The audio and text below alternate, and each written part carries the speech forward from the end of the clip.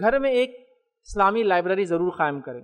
किताब, आज घरों में हमारे किताबों की बड़ी कमी है अदर की अगर समझ लीजिए, एक रमज़ान चल रहा है, समझ लीजिए। रमज़ान में आपने गलती से कुछ खा लिया तो रोज़ा टूटा या नहीं टूटा?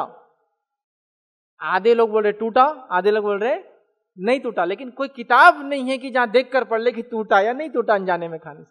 कुछ नहीं है घर में। नमाज़ में आज तीन रकात हुई, क्या करना है? फिर से पूरी पढ़ लो। क्या मसला? नहीं नहीं, ऐसा तो मसला नहीं है। मसला तो है एक रकात का सिर्फ़। नबी अक्रम सल्लल्लाहु अलैहि तरीका भी बता दिया, वो एक कैसी पढ़ी जाएँगी। फिर आप पूरी क्यों पढ़ने की बात कर रहे हैं? आज पाँच रकात पढ़ लिया, अब तो ज़्यादा हो गया मामला आप क्या करेंगे? चलो, तीन को तो आपने चार रिपीट कर लिया पाँच को क्या करेंगे? चलो, इसको भी चार पढ़ लो तो पाँच और चार, नौ रकात हो गई उस दिन। कैसे करें?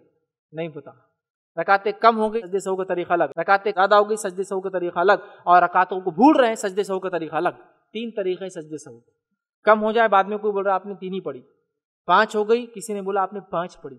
और आप खुद खलत मलत कर रहे कि दो पढ़ी, तीन पढ़ी चार उसका तरीका अलग है। मतलब वो नमाज़ की हालत में आपको शक है, उसका तरीका अलग। बाद में और पहले पता चले कि तीन और पाँचों की तरीका अलग है, नहीं पता। किताबें नहीं है ना।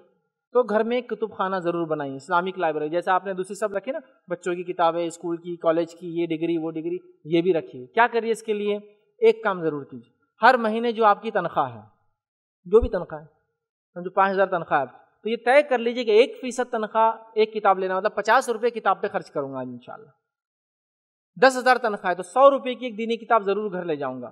बीस हज़ार तनख्वाह है तो दो सौ रुपये किताब ज़रूर ले जाऊँगा। हर महीने एक किताब आएँगी। साल में कितनी किताबें आएँगी? बारह। दस साल में कितनी हो जाएँगी? एक सौ बीस। आप ज़िंदगी में किताबें होंगी, आप पढ़ेंगे, उसको रखेंगे कोई ना कोई इसका अजर स्वाब कैसा है पता है? आपको बताऊँ, एक मिसाल देता हूँ। आप घर में नहीं थे, किसी शख्स ने आया, आपका इंतज़ार कर रहा था, बच्चों ने उसको बिठा दिया आपके रूम में, उसने किताब निकाली, एक दो मसाइल वगैरह देखे, उसको लगा अच्छा उसने अमल शुरू कर दिया, आपके अकाउंट में जा रहा अजर, चूँकि आपकी वजह से उसने वो चीज़ पढ़ी। बहुत फ़ायदा, दुनिया में भी देंगे और आखिरत में भी। दीनी किताबें होना